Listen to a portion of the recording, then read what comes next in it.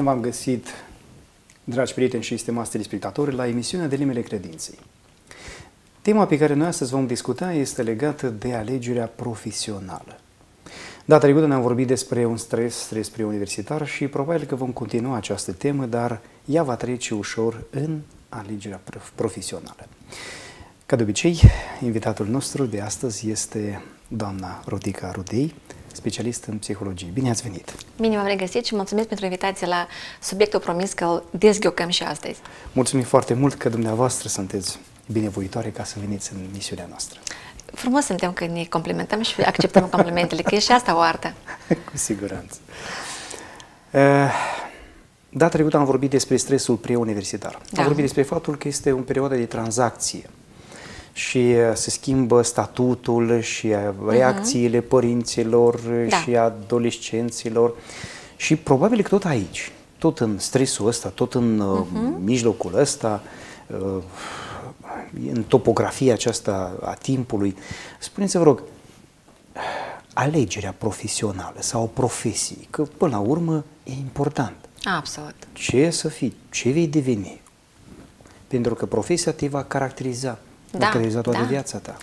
Adevărat, mai ales dacă pornim la ideea că toată viața sunt niște alegeri uh-huh. și suma alegerilor te face fericit sau nu nefericit, atunci realizezi că da, e o alegere deloc ușoară și una chiar, să zic eu, uh, care te va defini, te va determina pe parcursul întregii vieți, da? Și uh, asta, bine, sunt oamenii fataliști care gândesc astfel, da? Că da sau nu, nu are cenușiu, nu are compromis, el dacă alege e pe viață. și ajunge la vreo 35-45 de ani când el se gândește că da, poate totuși de la medic să merg la pedagog pentru că îmi plăcea foarte mult să fac asta pentru și că am, am întâlnit astfel de, da, de oameni da. curajoși, cum le spun eu, eroi, care reușesc să facă lucrurile cum le-au plăcut lor. Uh, exact. Uh, atunci când vorbesc uh, cu tinerii despre orientarea profesională, prima întrebare de fapt este ce visuri ai avut? Dar știți, uh, înainte ca să vorbim despre aceasta, Așa? eu aș fi vrut să ne explicăm câteva lucruri, chiar și pentru telespectatorii noștri, okay. că perioada aceasta de alegere, uh-huh. tot e un stres. Hmm. Evident. Un stres, domnule, ce să fiu, ce să aleg, vreau și știți, uneori ca în supermarket, ochii îți fug uh, Așa. dacă nu știi Așa. ce vrei cu siguranță să iei. Da, de aia și-am spus că alegerea este mână-mână cu mm. responsabilitatea pe care o ai. Exact. Așa? Pentru că tu alegi azi, dar responsabilitatea te va urmări și mâine și consecințele exact. acestei alegeri sunt o umbră benefică sau mai puțin benefică asupra întregii tale vieți. Da, este un stres pentru că înseamnă o um, nouă foaie în viața ta în care tu o listezi mm-hmm. personal și ești mm-hmm. pregătit pentru a o mișca. Uh, bine, nu toți fac asta, inclusiv și părinții. Mm, păi Evident, toți o fac, faci și tu. Mare scofală în faptul că tu mm-hmm. ți-ai o profesie. Bine, faci facultatea asta, nu-ți place, faci a doua facultate, a treia mm. facultate, pentru că și, și asta este o opțiune. Cu tot acesta este un stres, pentru că viața nu se mai repetă, anii nu-i mai întorci. Așa. Ci uh, stresul este legat de investițiile în viitor. Așa. Și al doilea moment, uh, necunoscut. Vei păși pe o altă ușă, nu știi ce se întâmplă acolo. Uh, noi cu dumneavoastră suntem responsabili și gândim despre investiție, despre mm. viitor, prezentul care determină viitor viitorul și da, prezentul care trec, se transformă în trecut și cumva vine în viitor, da, toate astea noi le înțelegem, dar sunt uh, familii în care lucrurile sunt luate într-un mod foarte superficial. Mm. Și atunci că, bine, uh, important să intru undeva. Mm. Am da? să fiu tânăr mereu. La facultate. Dar e important să faci facultate în rând cu toți. Să fii ca lumea. Da? Mm. Atunci când va fi întrebată pe stradă de vecini unde e al tău, mm-hmm. să zic că e acolo, și nu mă interesează, îți place, nu ai avut timp, uite, mm. asta e. Uh, mai trist este atunci când uh, se caută, se alege în uh, măsura posibilităților financiare mm-hmm. și asta este destul de trist pentru cei care sunt la guvernare, pentru că au adus uh, oamenii în așa stare, una la mână. Doi, Uh, și altceva este trist aici, că atunci când eu aleg uh, în baza la uh, unde este mai simplu, da? Uh-huh. Unde este mai ușor ca să bifez că am fost la facultate. Cu siguranță. Da? Și uh, dacă dumneavoastră la început ați spus că ne alege cumva și ori eu aleg, ori mă alege, păi în cazul meu, dacă aduc o mărturisire a mea personală, cumva pe mine m-a ales.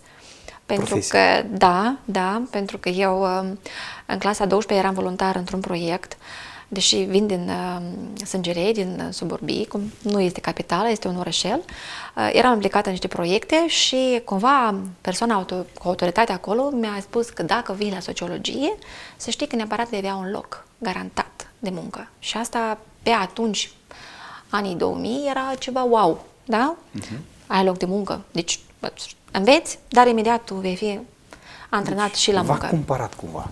Da, și atunci eu mizam pe asta. Uh-huh. Cu diploma de bacalaureat am mers exact la sociologie și am avut marea mea surprindere când nu sunt locuri. uh, stres. Așa? Exact. Uite, încă un stres. Pe lângă faptul că trebuie să aleg unde să merg, să mai ai încă un stres să iei altceva să alegi decât ceea ce ai vrut să alegi. Exact. Așa. În cazul dat, am întrebat atunci ce aveți liber. Pentru că a fost greșeala mea și a părinților nu mi-am informat care este perioada când poți să alegi și este toată gama uh, disponibilă. Noi cumva la sfârșit ne-am trezit, să zic eu așa, acum nu vreau să critic pe nimeni, uh, și doamna îmi zice că, uite, este psihologia liberă. Deci că trec cu diploma de BAC, nu, nu, nu, e deja închisă mm. concursul pentru diplome, trebuie să faci examen să dai. Alt stres, Iai. Dar uh, momentul când ești în tot stresul ăsta, cumva nu realizezi, nu conștientizezi că ești în stres. Ce ai tu, tu mizezi pentru a ajunge la destinație, satisfacerea țintei care o ai pus în față. Deci tu mergi, exact. corpul mobilizat, lucrează, lucrează, oferă creierului uh, soluții, oferă. Deci eu eram orientată pe soluții. Și asta e o chestie foarte frumoasă atunci când în stres tu alegi, alegi să fii orientat pe soluții, nu pe identificarea problemei. Mhm. Așa, bun. Deci cum rezolvăm? Da, da. Cum ajung să capăt ceea ce vreau să dobândesc. Și bine, când e examenul. Deci eu eram singură atunci. Nu erau adulții lângă mine care să mă ajute. Și bine, când e examenul? Păi azi. Super! Ce? Da, nu, nu, nu era. Am impresia că nici nu ieșiți din stres. Nu, nu, nu, nu, ușor, ușor treceam de prin toate. Și bine, era româna care am studiat-o bine și biologia pe toate 10, încă plecând acasă am venit și acum mai amintesc că zic, mami, nu știu ce o să iasă, pentru că eram atât de stresată încât nu-mi imaginez ce am făcut, era după inerție. Hmm. Da? Nu nici, nici nu mai amintesc chiar subiectele care erau. Uh, peste ceva zile am venit să văd uh, sunt, nu sunt și eram prima pe listă uh. și am zis că, au, deci psihologie să fie. Uite, asta m-a ales. Asta m-a ales A fost și, un semn pentru și înțeleg că nimic nu este întâmplător sau cum mai spune că Dumnezeu își păstrează anonimatul mm. a celor care aleg să zică că e o coincidență, de fapt. Asta am înțeles-o pe urmă când l-am aflat pe Dumnezeu și când l-am cunoscut în viața mea. Și până la urmă ați îndrăgit psihologia. Până la urmă am înțeles că este vocația mea, este ceea ce mă definește, mă determină și ați mereu am vrut-o. psihologul din, din dumneavoastră. Da, dar înțeleg că asta a fost uh, voia celor de sus, nu a mea și mă bucur că eu, sau circunstanțele au fost așa de bine create, uh, negative pe atunci pentru mine, destructive pentru mine atunci, dar care m-au făcut să aleg cea mai bună alegere, să iau cea mai bună decizie din viața mea. Da. Pot să mărturisesc că e adevărat. Probabil că cei din jur, nici eu nu vă văd altă profesie. Nu, nu. Confuciu spunea atunci când faci ceea ce îți place, caută de lucru. Probabil că eu, în, la capitolul ăsta, cu adevărat fac ce îmi place, pentru că nu simt efortul. Și asta ar fi un îndemn pentru cei de acasă care se întreabă ce aș face eu, cu adevărat să găsească răspuns. Ce îmi place să fac? Să comunic, ok, cu cine, cât de frecvent. Să ascult, hmm, și asta e interesant. Și iată aici, am ajuns la un moment în care eu aș fi vrut să vă întreb și să ne ajutați să, uh-huh. să găsim o soluție sau răspuns la întrebarea aceasta, și anume, anii de studențime trec. Da. Inevitabil. Deci, 3, 4, 5, 6, 10, uh-huh. cine o face, poate și mai mult. Da, da. Uh, ei vor trece. Dar ce după? Pentru că uh-huh. profesia se începe din momentul ăla. Absolut. Pentru că tu trebuie să-l realizezi.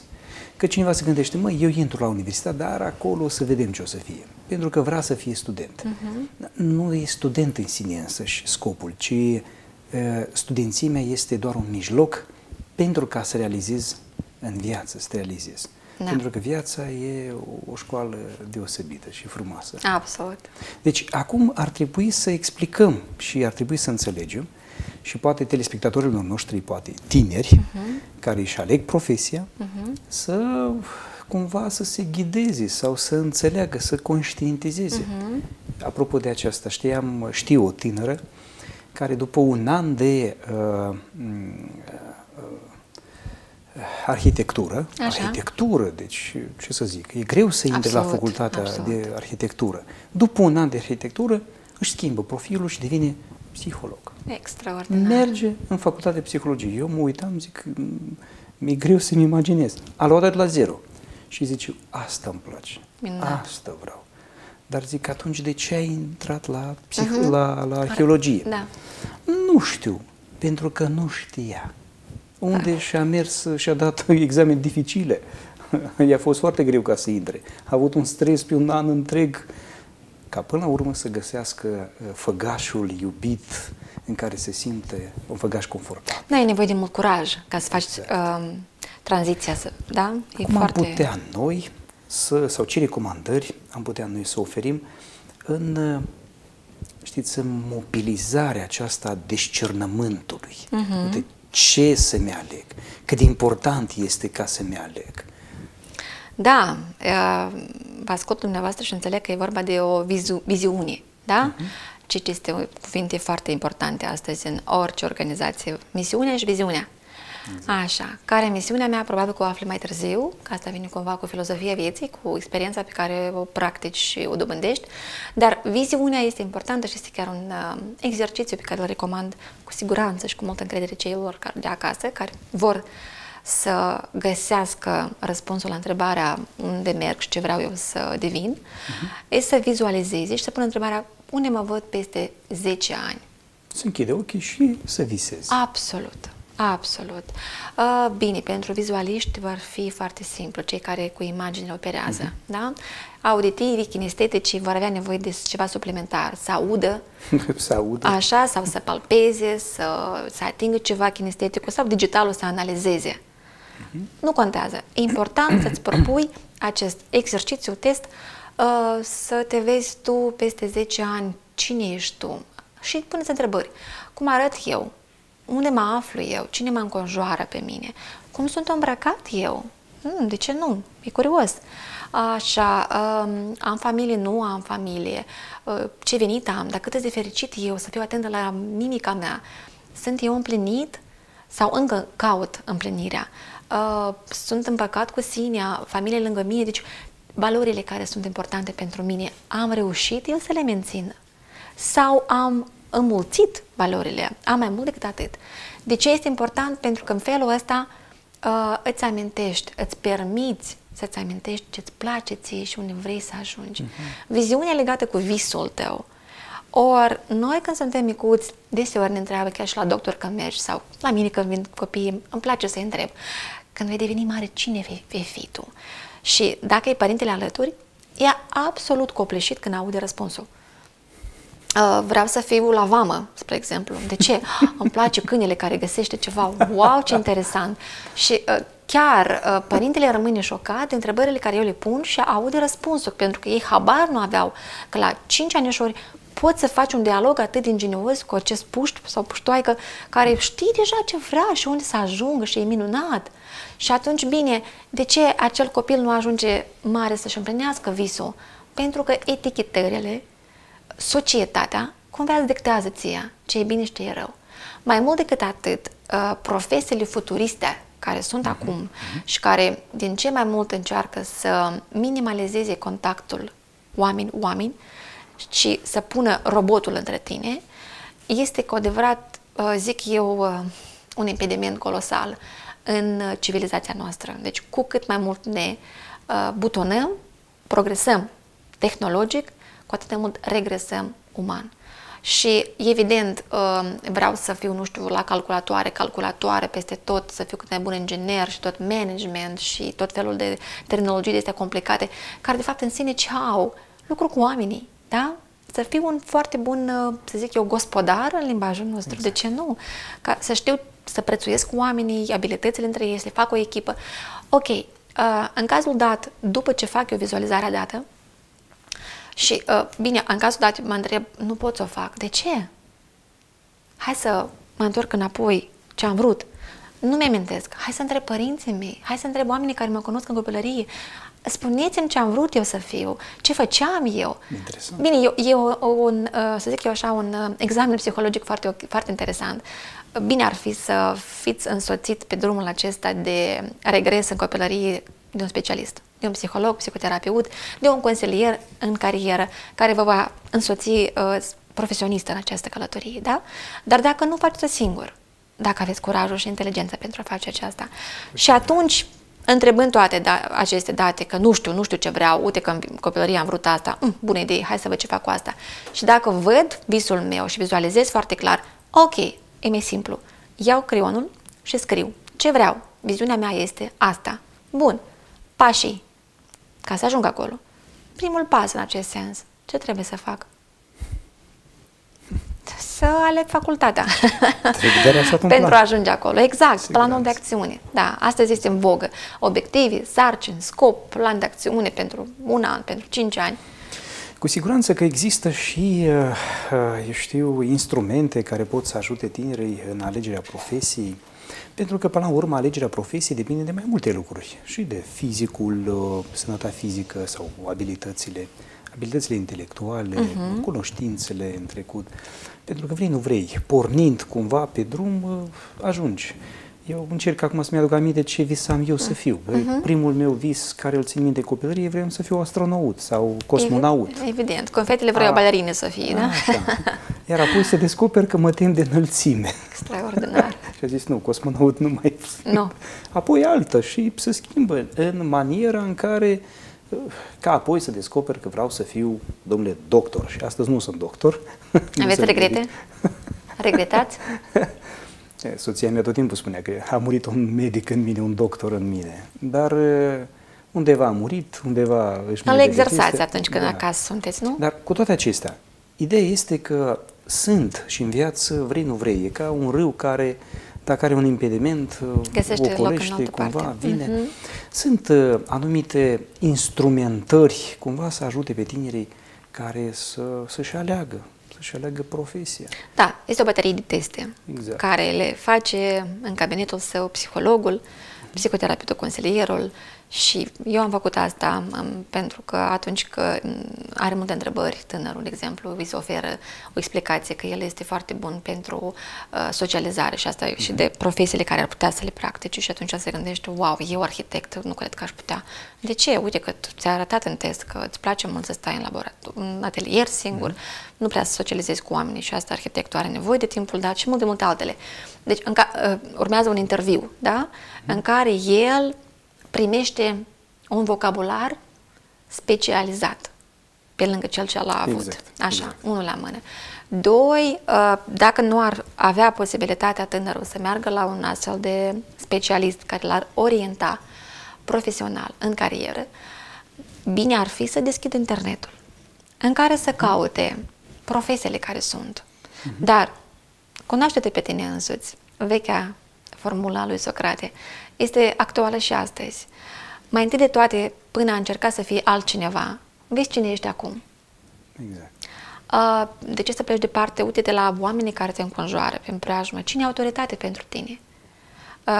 Bine, îți place foarte mult unchiul tău ce practică, atunci mergi cu el o zi, vezi cum e asta. Pentru că e una, aparențele înșală, știm asta, e una ce vezi tu prin prisma creierașului tău încă neexperimentat și altceva să te tamponezi cu realitatea dură. Da, romantismul și realitatea. Așa, așa, da. Uh, bun, și aici ar putea fi o scuză, să zicem, în cazul în care m-am aventurat și aproape sunt spre a absolvi o facultate, dar nu-mi place deloc, da? Mm. Nu-mi place. Atunci vezi ce poți să faci cu toată experiența care ai căpătat-o, pentru că a fost trei ani, de exemplu, de, de cunoștințe în care te-ai încărcat informațional și nu cred că nu va fi valoros. În experiența mea personală am avut și ecologie, ca habar nu înțelegeam ce fac eu aici. Mi-mi plac oamenii, ce caut eu acolo. Dar intrând în ecologie am acaparat niște termeni, uh, oameni atât de interesanți, mi-au dat inspirație să leg natura cu omul, ceea ce Dumnezeu mereu ne îndeamnă. Întoarceți-vă acolo de unde ați venit. Și asta m-a făcut să introduc termeni ca ecologia relațiilor voastre, igienizați relațiile între voi, uh, ocrotiți-vă da, răulețul inimii și toate izvoarele inimii, care atât de importante sunt. Uh, asta am înțeles eu pe urmă, da? Uh, nu știu cine spunea că nu contează ce, ce faci, contează ce, ce vei face de acum încolo cu ceea ce ai mhm. dobândit. Mm-hmm. Și cu adevărat, cu experiența care ai căpătat-o este valoroasă dacă tu încerci să-i afli esența ei în prezent, în viața ta. Trist, am întâlnit oameni care uh, educația pe care au primit-o în facultate și în viață fac cu totul altceva, mm-hmm. deci mhm. practică. Și mă întreb, a greșit cumva el facultatea sau persoana dată sau aceste persoane?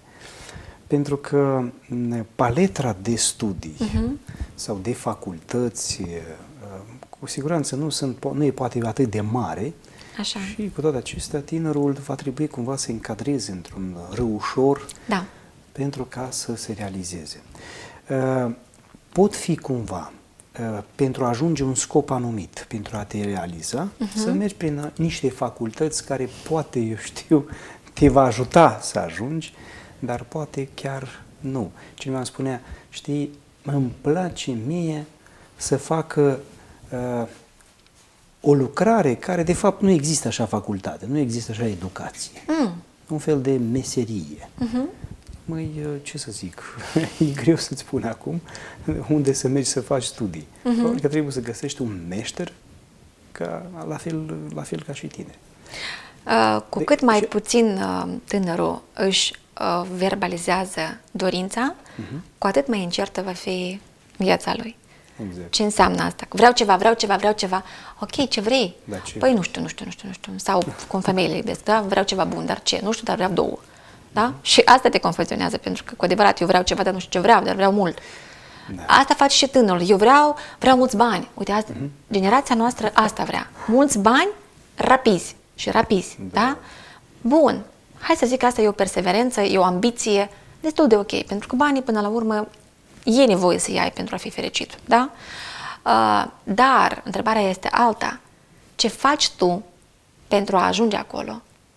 Dacă pornești de la coadă, inductiv vorbind, da? De la exact. finalitate uh-huh. și încerci să dezghești subiectul, păi cam riști să dai prin multe bulgări și prin multe gropi, da? Băltoace. Dar dacă deductiv urmează să urci spre acolo sus, vârful piramidii tale Unde de autorealizare, da, da, păi atunci cu siguranță nu vei cădea. Sau dacă va fi un eșec, cu siguranță ridicarea va fi mult mai simplă. De aceea, până vă porni la această cale, face sesiune în familie, o ședință familială. Uh, chemați oameni pe care îi respectați, oameni care vreți să-i auziți ce au de spus ei. Da? Pregătiți-vă dumneavoastră ca tânăr. Vă recomand, faceți lista de întrebări, profesiile care dumneavoastră ca și cum le-ați fi dorit să le practicați și oamenii i-ați aranjat ca un juriu sau ca niște guru, da, în fața dumneavoastră și foarte simplu puneți întrebări. Fiți atent la răspunsurile care vi le dă, încărcați-vă cu tot ce e necesar și în final luați decizia. Cu siguranță va fi o decizie foarte bună, cel puțin pentru moment. Chiar dacă peste un an se schimbă lucrurile, chiar dacă vrei altceva, uh, oricum, decizia luată atunci a fost cea mai bună. Și asta te ajută să nu te blamezi prea tare, să nu ai regrete. Pentru că Einstein spunea probabil că e greșit să rezolvi problema la acel nivel la care a apărut. Exact. Deci, gata, la acel moment, toate resursele tale au convenit că cea mai bună decizie e să mergi la medicină. Peste 2, peste 2-3 ani, alte resurse, ai mai crescut, ai mai gustat din această meserie și ai înțeles că nu prea ți-ai dorit toată viața să fii cumva înconjurat de medicamente sau de oameni bolnavi. Și atunci e o altă decizie. Și iarăși, și atunci îți stă în puteri să faci o alegere pentru tine. Mulțumim. Știți, uh, aș pune ultima întrebare. De când și cine ar trebui să ajute copiii să-și găsească profesia? De când? Atunci când copilul întreabă, mami, dar ce faci tu la lucru?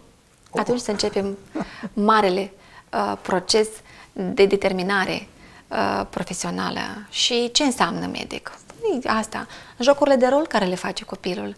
Atunci când el revine de la grădiniță acasă da. și tu îl vezi că el e medic, sau el este frezer, sau el mai face altceva și uh, pe parcurs cât de mult îl vei încuraja să înrăznească, dar nu, aoleu, ce vrei să fii tu?